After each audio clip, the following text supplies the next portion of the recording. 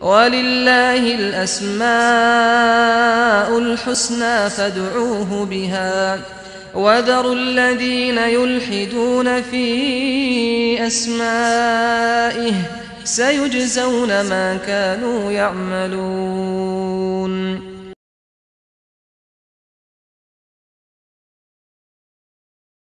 بسم الله الرحمن الرحيم. الحمد لله رب العالمين.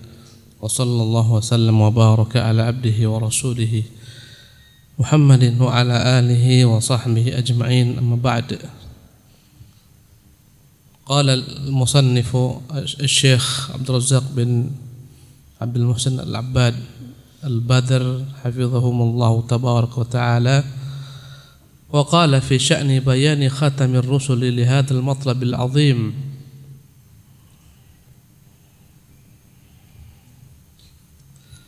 Berkata Ibnu Qayyim rahimahullah tabaraka taala ketika menjelaskan penjelasan dari Nabi sallallahu alaihi wasallam tentang begitu pentingnya untuk mengetahui nama-nama Allah Subhanahu wa taala sifat-sifatnya. Fa'arrafa an-nasa rabbahum wa ma'budahum ghayata ma yumkinu quwahum min al-ma'rifah. هذا خلاص لما قرأنا لما maka beliau yakni Rasulullah SAW mengenalkan kepada manusia tentang Tuhan mereka Tuhan yang mereka sembah semaksimal yang mungkin dapat ditangkap oleh kekuatan akal mereka dalam memahami Allah tabaraka taala wa abda wa a'ada dan Nabi sallallahu alaihi wasallam tunjukkan hal tersebut dan ulangi hal tersebut. Wa ikhtasara wa atnabah. Terkadang beliau meringkas terkadang beliau panjangkan fi dzikri asma'ihi wa sifatihi wa af'alihi. Tentang nama-nama Allah Subhanahu wa taala sifat-sifatnya dan perbuatan-perbuatannya hatta tajallat ma'rifatuhu subhanahu fi qulubi ibadihi almu'minin. Sehingga jelaslah Allah Subhanahu wa taala tentang Allah Subhanahu wa taala pengenalan tentang Allah Subhanahu wa taala pada hati hamba-hambanya yang beriman. Jadi Al-Imam Al-Qayyim rahimahullah menyebutkan bahwa Nabi sallallahu alaihi wasallam berupaya mengajarkan kepada umat menjelaskan siapa Allah Jalla wa ala dengan segala macam bahasa dan dengan segala macam cara. Dengan segala macam keterangan penjelasan yang panjang penjelasan yang pendek. Ya agar umat ini mengenal siapa Tuhannya. Sehingga akhirnya kenallah umat ini kepada Tuhannya. Tentunya yang mempelajari hal ini dari Nabi wasallam. Sehingga jelaslah umat ini mengenal Tuhannya. Ya dan terhujamlah Allah Subhanahu wa taala pengenalan tentang Allah Subhanahu wa taala dalam hati hamba-hambanya yang beriman. Wanjabat sahaibu syak warraibi anha. Sehingga hilanglah segala macam bentuk kesamaran keraguan-raguan ya tentang hakikat Allah Subhanahu wa taala nama-namanya dan sifat-sifatnya serta perbuatan-perbuatannya kama yanjabu sahabu 'anil qamari lailata persis sebagaimana hilangnya awan ketika malam bulan purnama sehingga tampak jelaslah purnama tersebut karena awan telah hilang. Maka jelasnya purnama yang dilihat orang-orang di bumi ini ketika malam hari yang terang benderang tak berawan. Begitu jelas mereka melihat bulan demikian juga lah hamba-hamba Allah yang beriman. Begitu jelas bagi mereka mengenal Allah Subhanahu wa taala. Tak ada keraguan padanya sebagaimana orang-orang di bumi tak ragu melihat bulan yang tampak di malam purnama. Demikian juga lah hamba-hamba Allah yang beriman. Ya yang mengenal Allah Subhanahu wa taala sebagaimana mereka melihat bulan, mengenal sifat-sifatnya, mengenal nama-namanya, mengenal perbuatan-perbuatannya. Walam yada' li ummatihi hajatan fi hadha ta'rif. la ila man qablahu wa la ila man. Sehingga tak butuh lagi umat ini untuk adanya orang lain yang mengenalkan tentang Allah. Tak butuh, cukup dengan keterangan Nabi wasallam. Tidak butuh orang-orang terdahulu menjelaskannya, tak butuh orang-orang datang belakangan. Bal kafahum wa syafahum. Tapi cukuplah Nabi semata. Ya, yang memuaskan dahaga mereka untuk mengenal Tuhan mereka. Wa aghnahum an kulli man takallama fi hadzal bab. Maka nabi mencukupkan mereka dari segala macam orang berbicara tentang Allah nama-nama dan sifat-sifatnya. Karena ikhwatul kiram rahimakumullah yang berbicara tentang Allah ini banyak. Siapa saja mereka? Al mutakallimun ahlul kalam. Mereka berusaha berbicara tentang Allah dengan akal dan rasio mereka. Sehingga mereka banyak tersesat. Ya siapa lagi al mutafalsifun ahlul fal ahlul falsafat mereka juga berbicara tentang Allah tabaraka tentang Allah ya dengan logika-logika mereka. Dan semua apa yang mereka sebutkan tentang Allah Subhanahu wa taala tentu tidak akan pernah sempurna dengan apa yang disebutkan Nabi wasallam tentang Allah. Apabila kita mau mengenal Allah Subhanahu wa taala, tak ada jalan lain kecuali kita mengenalnya melalui keterangan yang telah disampaikan Allah dalam kitabnya dan mengenalnya melalui keterangan yang telah disampaikan oleh Rasulnya yang mulia sallallahu karena Allah tak akan dapat ditangkap hakikat daripada nama-namanya, sifat-sifatnya, perbuatannya dengan rasio, dengan akal harus ada wahyu di sana. Awalam yakfihim anna anzalna alaikal kitaba yutla alaihim. Al-Imam Al-Qayyim menyebutkan ayat Al-Ankabut. Ya ayat satu daripada surah Al-Ankabut. Awalam yakfihim tidakkah cukup bagi mereka anna anzalna alaikal kitab bahwasanya kami telah turunkan kepada wahai Muhammad Alkitab Tidakkah bagi mereka cukup ini sebagai pedoman untuk mengenal Allah Subhanahu wa taala, mengenal jalan bagaimana menuju Allah Subhanahu wa taala, mengenal bagaimana kelak nasib orang-orang yang mereka berjumpa dengan Allah Subhanahu wa taala bagi hamba-hambanya yang beriman? Tidakkah cukup Al-Qur'an? Yutla alaihim. Tidakkah cukup bagi mereka Quran dibaca atas mereka? Inna fi dzalika la rahmatan wa dzikra liqaumin yu'minun. Sesungguhnya dalam hal demikian itu dalam peristiwa turunnya Quran sebagai wahyu kepada Nabi SAW adalah merupakan rahmat. Dengan itulah kita dapat mengenal Allah, mengenal jalan kepadanya, mengenal syariatnya, mengenal perintah-perintahnya. Dan kita pun mengenal betapa rahmat Allah kepada kita yang telah menurunkan kepada kita syariat yang begitu indah, yang begitu mudah, yang begitu sesuai. Ya, dan sebagai bentuk peringatan kitab yang diturunkan kepada Nabi SAW itu datang sebagai rahmat. Karena dia pedoman. Tanpa kitab tersebut kita akan tersiok-siok dalam jurang-jurang kesatan dalam jurang-jurang kebinasaan. Sebagaimana tersesatnya banyak umat. Subhanallah. Maka Allah ingatkan kepada kita nikmat itu. Nikmat apa? Turunnya Alkitab awalam yakfihim? Tidak akan cukup bagi mereka anna anzalna alaikal kitab kami telah turunkan kepadamu alkitab yutla alaihim agar dibacakan atas mereka inna fi dzalika rahmah sungguh hal demikian itu. Peristiwa turunnya alkitab kepada Nabi SAW adalah merupakan rahmat. Ya bagi siapa? Bagi orang-orang beriman. Tanpa ada Al-Quran kita tersia-sia. Tersesat. Terjalan kebenaran. Dan setiap umat yang tersesat adalah umat yang tidak menjadikan Quran sebagai pedoman. Tidak menjadikan sunnah sebagai panduan wa dzikra sekaligus sebagai peringatan. Ya bahwasanya ada yang dicintai Allah Subhanahu wa taala kita berupaya mewujudkannya ada yang dibenci Allah Subhanahu wa taala kita harus berusaha menghindarinya. Dan ancaman bagi orang-orang yang menentang perintah Allah perintah nabinya. Ya menentang para rasul Allah Subhanahu wa taala bagaimana kelak nasib mereka di hari akhirat. Dalamnya ada peringatan wa dzikra liqaumin yu'minun. Tapi itu semua hanya dapat diambil manfaat bagi orang-orang yang beriman Kaifala berkata Qayyim, bagaimana tidak? Maksudnya bagaimana tidak kita merasa puas dengan keterangan dari Nabi tentang Allah? Karena dewasa ini banyak umat yang mengenal Allah bukan dari jalur Nabi SAW. Akhirnya, akhirnya mereka tersesat. Khususnya al-mutakallimun. Mereka persempit sifat-sifat Allah Azza wa Jal. Mereka selewengkan makna sifat-sifat Allah Azza wa Jal.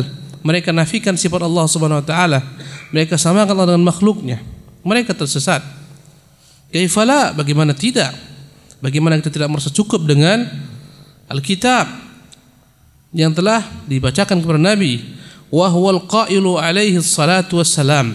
Bagaimana kita tak merasa puas dengan kitab dan dengan wahyu yang dibacakan kepada, kepada Nabi SAW padahal dialah Nabi SAW yang bersabda qad taraktukum ala bayt alal baydai aku telah tinggalkan kalian persis bagaikan aku tinggalkan kertas yang putih bersih tak ada padanya celah dan ini menunjukkan kesempurnaan Islam dalam semua bab Apalagi dalam bab asma wa sifat, dalam bab yang paling kecil pun, bagaimana buang hajat, bagaimana seseorang bergaul dengan istrinya, bagaimana ada mempergaul istrinya, perkara yang begitu kecil pun telah diajarkan. Bagaimana pula perkara besar yang terbesar perkara Allah, nama-namanya, sifat-sifatnya. Maka beliau yang berkata taraktukum alal baydai lailuha kanahariya Aku telah tinggalkan kalian di atas kertas yang begitu putih bersih sehingga malam yang gelap bagikan siang jelasnya. Subhanallah. La yazighu anha ba'di illa halikun. Tak ada lagi orang yang menyimpang. Ya. Daripada sunnah Nabi wasallam setelah Rasulullah tinggalkan agama ini semuanya, tidak adalah orang yang menyimpang kecuali halik, kecuali orang memang Allah tetapkan baginya kebinasaan. Jalan telah terang. Petunjuk telah jelas, pedoman ada. Yang menjelaskan pedoman itu ada. Maka siapa yang tersesat itu adalah orang-orang memang Allah tentukan baginya kebinasaan. Ya dan billah. Subhanallah. Tak ada lagi hujah.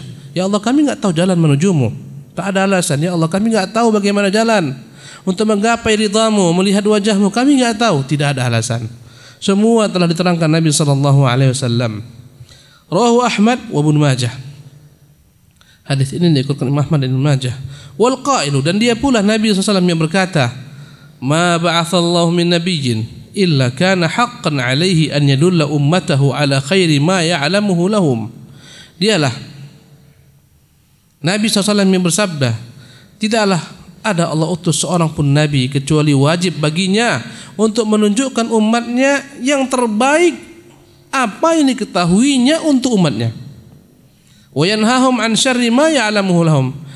Demikian pula ya Tidaklah Allah mengutus seorang nabi pun kecuali wajib baginya menunjukkan kepada umatnya apa kejelekan yang paling dahsyat yang dia ketahui bagi mereka agar jangan mereka lakukan. Rawah Muslim. Jadi sempurna. Ya, setiap nabi itu sempurna menyampaikan risalah kepada umatnya, tak ada yang kurang. Maka tak perlu tambahan-tambahan. Wa qala Abu Dzarrin hadis tadi Imam Muslim berkata Abu Dzar Tarakana Rasulullah sallallahu alaihi wasallam. Rasulullah meninggalkan kami, maknanya beliau wafat meninggalkan kami. Wa ma ta'irun yuqall wa ma ta'irun yuqallibu janahihi fil hawa illa wa huwa yadhkuru minhu ilman. Kata Abu Dhar, tidaklah Rasulullah SAW meninggalkan kami kecuali apa pun telah beliau jelaskan kepada kami sehingga burung yang mengepakkan sayapnya di udara pun Nabi telah menyebutkan kepada kami ilmu tentangnya. Subhanallah. Burung yang mengepak di udara pun Nabi telah sebutkan kepada kami ilmu tentangnya. Tak ada lagi yang kurang. Apalagi informasi tentang Allah tak ada yang kurang. Tak butuh kita kepada ahlu kalam ya dalam mengenal Allah Subhanahu wa taala. Ahlul kalam mengatakan as-salafu as-salafu aslam. Kata mereka orang-orang terdahulu itu mereka lebih selamat. Wal khalafu a'lamu wa ahkam. Adapun generasi khalaf yang datang belakangan lebih berilmu dan lebih bijak. Ini ungkapan batil. Dari situlah mereka sehingga menyebutkan berbagai macam perkara-perkara yang para salafus salih tidak pernah menyebutkannya dalam bab asma dan sifat. Subhanallah. Qala faqala an-nabiy sallallahu alaihi wasallam dia berkata bersabda Nabi wasallam ma baqiya syai'un kata Nabi tidaklah ada sesuatu perkara pun yuqarribu minal jannati wa yubaidu minan nari illa waqad buyyina lakum kata Nabi tak ada sesuatu apa pun yang dengannya seseorang mendekatkan dirinya ke surga dengannya seseorang menjauhkan diri dari neraka kecuali telah dijelaskan seluruhnya untuk kalian. Rawah tabrani wal fil mu'jam al kabir diriwayatkan Imam al Imam Tabrani dalam mu'jamnya al kabir ya jadi jelaslah semuanya telah diajarkan oleh para nabi. فمن المحال أن يكون عليه الصلاة والسلام قد علم الأمة آداب قضاء الحاجة وآداب الطعام والشراب والدخول والخروج بتفصيل واف وتركهم دون أن يعلمهم ما يقولونه بألسنتهم ويعتقدونه بقلوبهم في ربهم ومعبودهم الذي معرفته غاية المعارف. هذا hal yang mustahil tatkala Nabi SAW telah mengajarkan umat ini semua adab tata cara bagaimana dia buang hajat bagaimana dia makan bagaimana dia minum bagaimana dia masuk rumah bagaimana keluar rumah dengan penjelasan yang rinci sempurna. Apakah mungkin Rasulullah SAW di sisi lain meninggalkan dan tidak pernah mengajarkan kepada umat ini apa yang mereka harus ucapkan dengan lidah-lidah mereka, apa yang mereka harus yakini ya dengan hati-hati mereka tentang Allah Subhanahu wa taala, Tuhan mereka. Yang mana mengenal Tuhan itu adalah tujuan daripada segala macam ilmu. Subhanallah. Kata nak kata yakni kata Syekh Abdul Razak rahimahullah hafizahullah tabaraka taala. Kalaulah Nabi sallallahu alaihi wasallam mengajarkan semua kepada umat ini hal-hal yang berkaitan dengan adab buang hajat, adab masuk rumah, keluar rumah. Subhanallah. Apakah mungkin Nabi lupa atau tidak menyampaikan kepada umat ilmu tentang nama-nama Allah, tentang sifat-sifat Allah, bagaimana kita mengenal Allah, bagaimana kita meyakini akan Allah Subhanahu wa taala. Yang mana mengenal Allah adalah tujuan ya dari segala macam bentuk ilmu wal wusulu ilaihi ajallul matalib wa afdhalul mawahib sementara ya sampai untuk mengenal Allah Subhanahu wa taala adalah seutama-utama tujuan dan tuntutan kaifala yakunu bayanahu bagaimanakah mungkin Nabi tidak jelaskan tentang Allah wal hajatu ilaihi faqul hajati kulliha Sementara kebutuhan kita mengenal Allah lebih daripada kebutuhan kita atas segala sesuatu. Allah Akbar. Karena dia Tuhan, dialah Tuhan kita. Menciptakan kita, memelihara kita, menghidupkan kita, memberi rezeki kita. Kalaulah anda di dunia ini ada orang berbuat baik kepada anda. Dan anda nggak tahu siapa dia. Didatangkan kepada anda berbagai macam kebaikan-kebaikan. Anda diberikan rumah gratis, villa-villa yang besar. Diberikan kepada anda mobil gratis mobil-mobil yang mahal diberikan kepada Anda, segala macam kenikmatan dunia, semua barang-barang dalam tempat tersebut serba luks, mebel-mebel yang mahal, kasur-kasur yang empuk dan anda tidak tahu siapa yang telah memberikan kepada Anda semua kebaikan tersebut. Pertanyaannya, mungkinkah Anda berdiam diri dan pasrah, ah tak perlu tahu siapa yang memberikan? Atau Anda akan cari dia? Jawab. Tercari dia. Subhanallah, siapa yang beri aku ini semua? Tinggal semua tergantung kunci mobil semua ada. Subhanallah. Anda akan cari tahu. Subhanallah. Ketika telah dapat namanya, oh rupanya si fulan. Anda akan cari tahu di mana tinggalnya, di mana kediamannya, apa kerjanya, apa profesinya, bagaimanakah dia, kenapa sebaik ini kepada saya, apa sebabnya. Itu makhluk.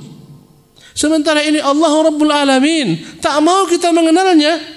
Allah Akbar. Dengan dialah kita bernafas setiap saat. Denyut nadi kita, detak jantung kita. Subhanallah. Semuanya dengannya semata. Tanpa dia binasa kita seluruhnya. Apakah kita biarkan begitu saja tak mau kita mengenalnya? Mustahil. Subhanallah. Kita melihat bagaimana Ibrahim mencari Tuhan Allah Azza Jalla untuk mengenal Allah Subhanahu wa taala.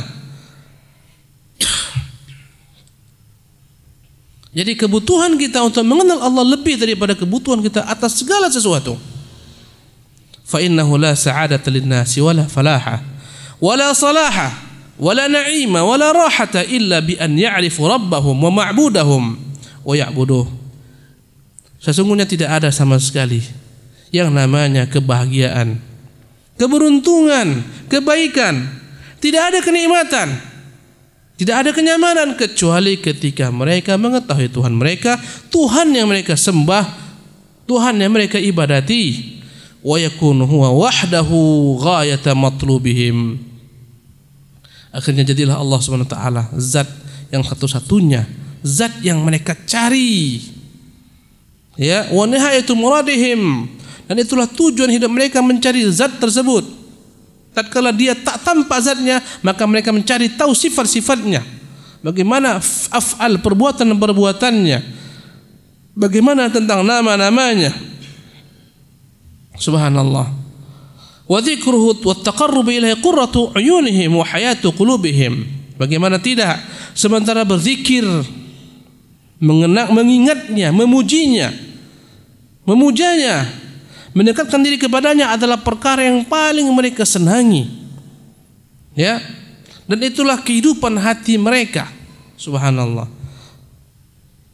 Kata Ibn Taimiyah rahimahullah.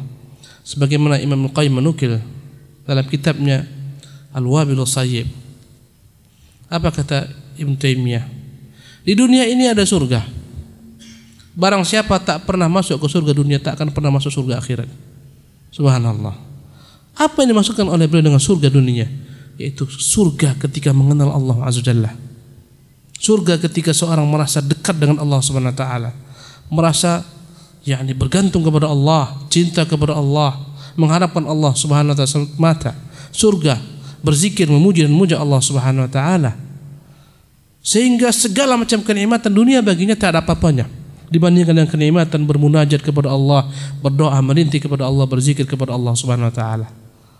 Subhanallah. Ya. Apa kata Ibnu Qayyim tentang gurunya Ibnu Taimiyah? Guruku selalu berkata, tiap kali habis salat subuh dia enggak pernah tinggalkan tempat. Dia senantiasa berzikir memuji Allah Subhanahu wa taala ya sampai naik matahari sepenggalah. Kemudian dia salat dua rakaat. Dan dia berkata kepada Ibnu Qayyim muridnya, "Hadza hadhihi quti." Inilah makananku. Andai kata ini tak aku lakukan akan lemah tubuhku ini. Subhanallah. Dia menganggap ketergantungannya untuk berzikir muji Allah SWT beribadah menyembah Allah adalah merupakan kekuatannya jika tidak dia lakukan lemah tubuhnya subhanallah ya. Sehingga dia yang mengatakan tatkala di penjara di qal'ah apa yang mereka buat kepadaku? Ah, mereka penjarakan aku. Itulah waktuku berkhulwat dengan Tuhanku. Mereka buang aku. Kuanggap sedang berpelesiran dan rangka beribadah kepada Tuhanku. Mereka bunuh diriku, aku anggap jalan untuk menemui Allah dalam bentuk syahid. Subhanallah.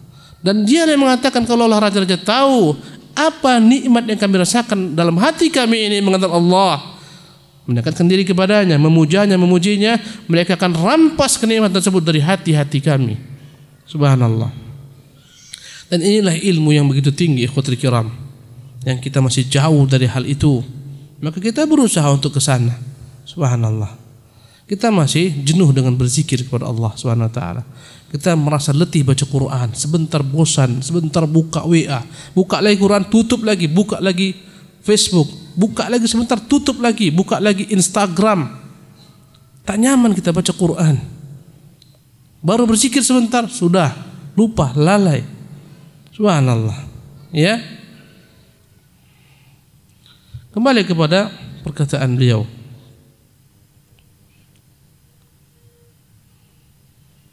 Famata faqadu dzalika kanu aswa halan min al-an'am.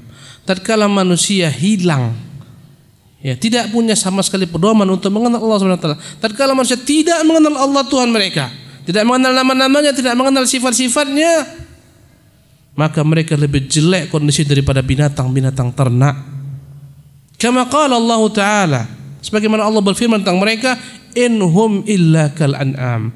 Mereka itu yang tak kenal Allah persis sebagaimana binatang ternak yang lalai.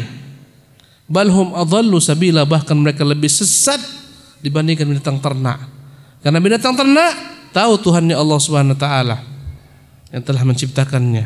Dan binatang ternak tak pernah menentang kodratnya sebagai hamba Allah Subhanahu wa taala. Wa bihadza yudrikul muslimu syarafa hadzal ilm wa fadlah. Karena itulah seorang muslim tahu alangkah mulianya mengenal ilmu tentang Allah ini. Wa annahu minal ususil idham allati qamat 'alaiha da'watul mursalin dan sesungguhnya mengenal Allah ini adalah merupakan pondasi-pondasi yang begitu agungnya yang di atasnya tegak dakwah para nabi.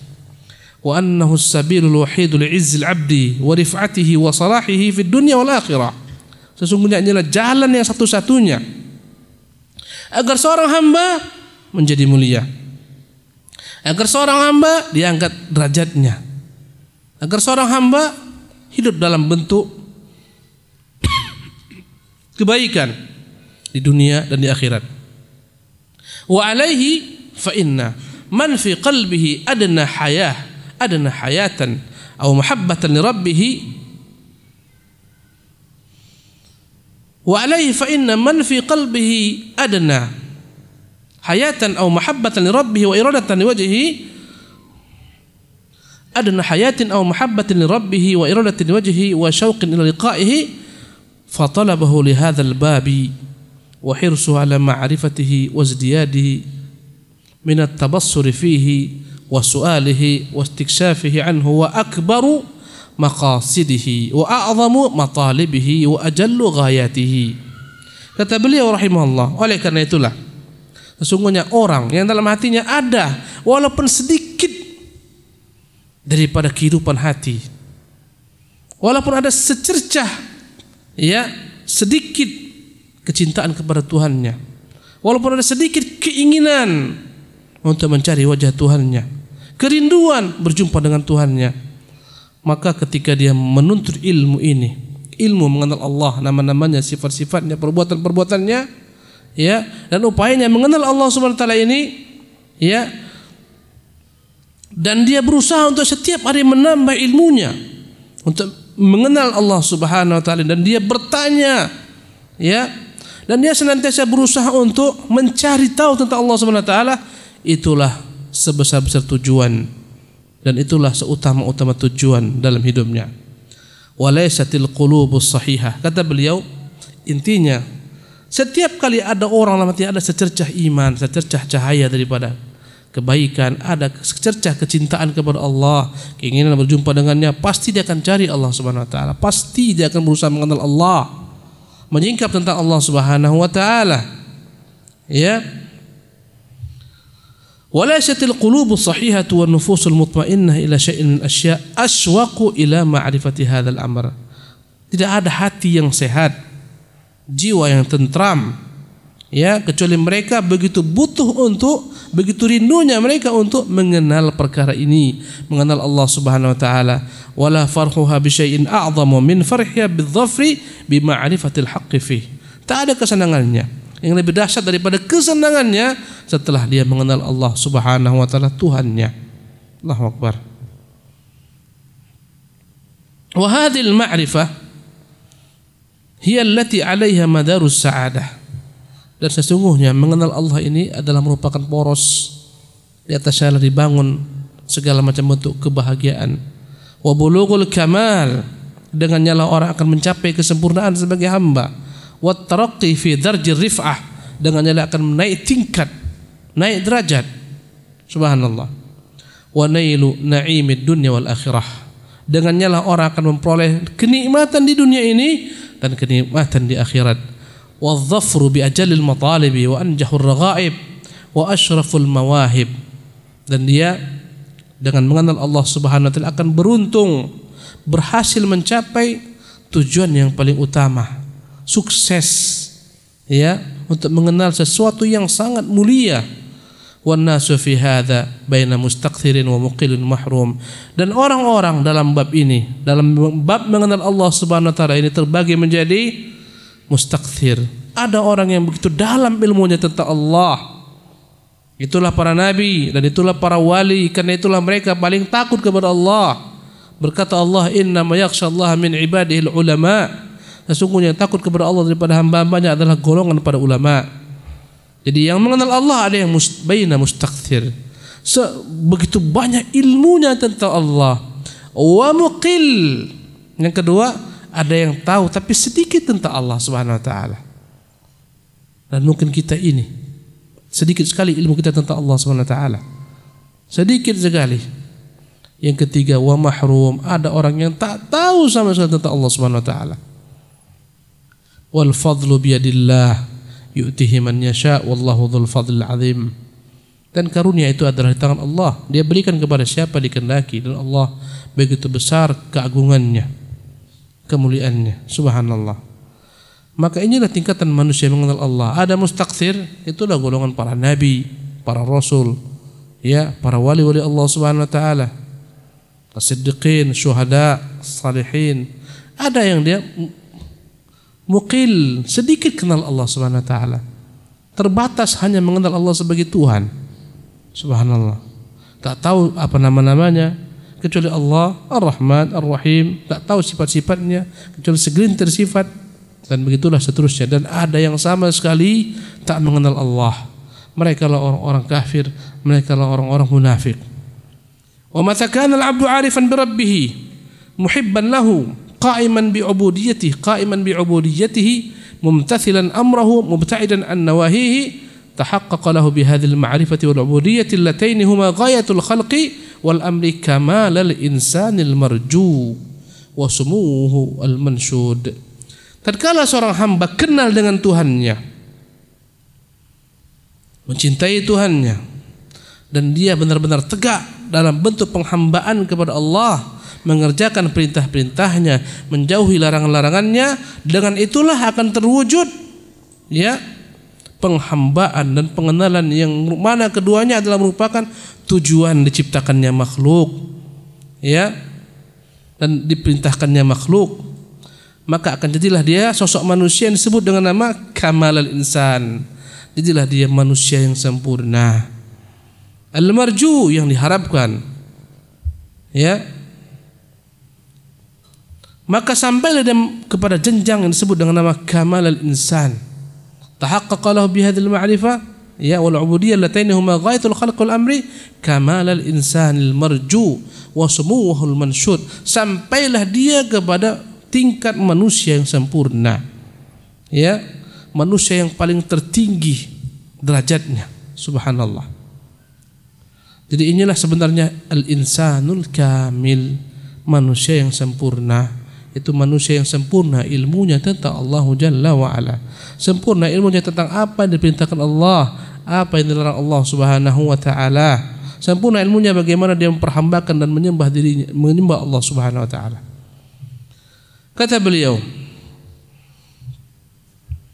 "Laisat hajatul arwahi qattu ila syai'in a'zamu minha ila ma'rifati bari'iha." Sesungguhnya tidak ada kebutuhan roh yang lebih dahsyat daripada kebutuhan roh untuk mengenal penciptanya. Ya wa fatiriha untuk mengenal siapa yang telah yakni mewujudkannya membentuknya mengadakannya. Wa mahabbatihi wa dzikrihi wa ibtihaji ya tidak ada kesenangan jiwa yang lebih dahsyat daripada mencintai Allah berzikir kepadanya. Ya yakni bergembira dengannya.